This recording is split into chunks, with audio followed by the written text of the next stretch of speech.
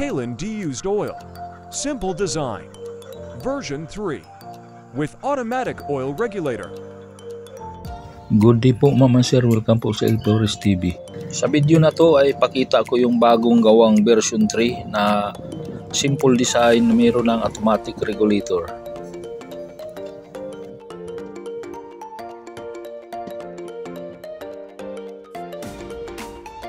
Dito sa parting ilalim ng tangke, dito nilagyan ng square tube na 1 by 1 na may maliit na butas sa dulo. Silbing pasukan ng hangin papuntang tangke.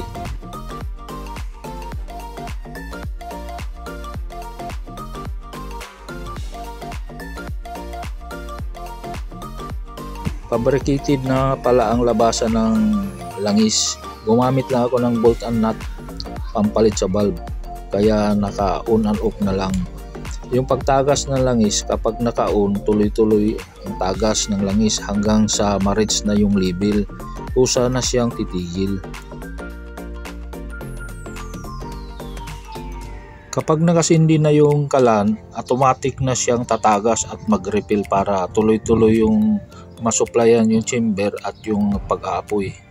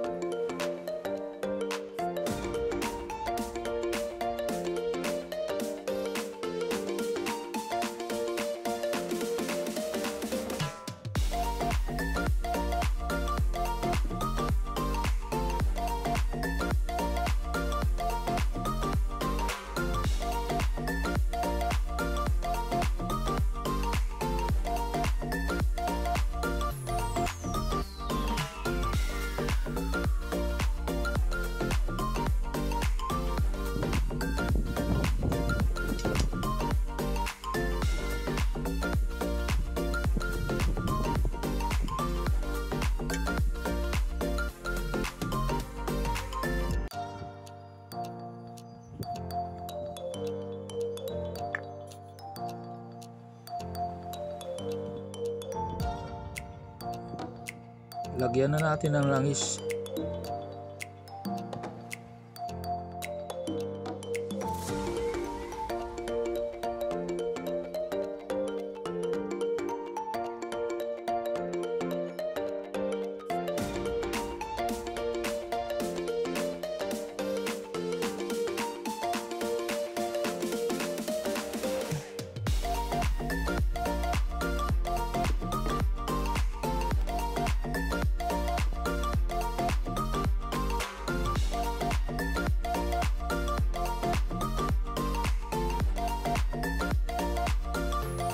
Itong takip nga pala ay meron siyang rubber gasket.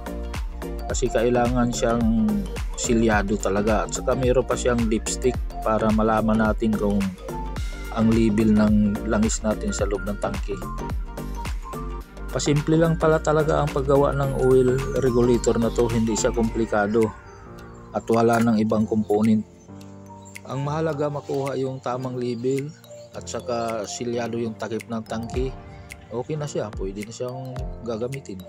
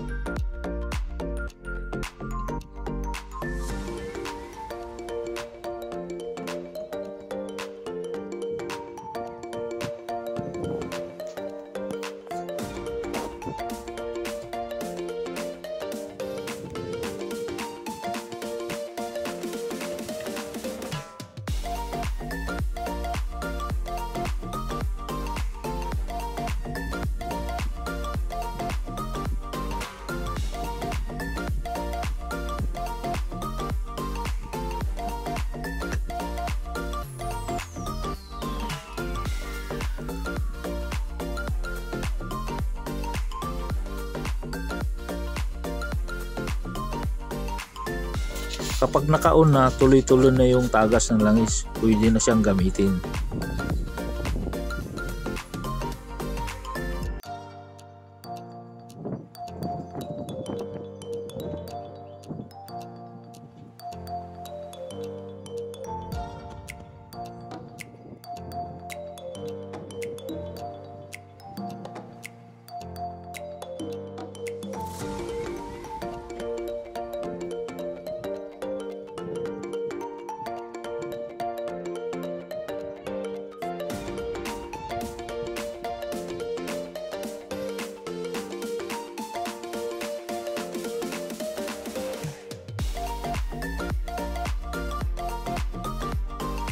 Ito nga pala yung ano pumapasok na langis sa chamber.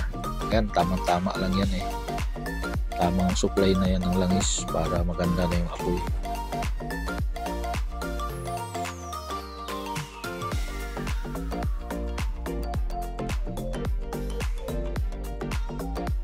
Susubukan na nga pala natin sisindihan.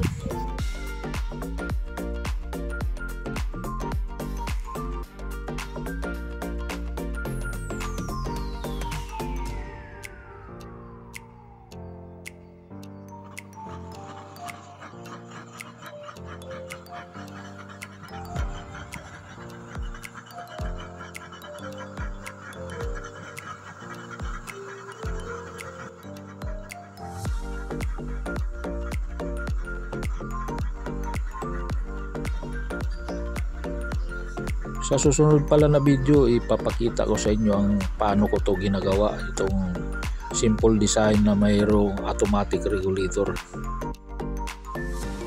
Bago tayo magpaalam, papasalamat muna ako sa mga subscriber na tuloy-tuloy niyo pagpapanood. Shout out din sa mga kasamahan ko nagkakalan. Sa mga magsisimula pa lang, eh, manood lang kayo sa mga tutorial namin. Thanks for watching. Subscribe, share. Bye-bye.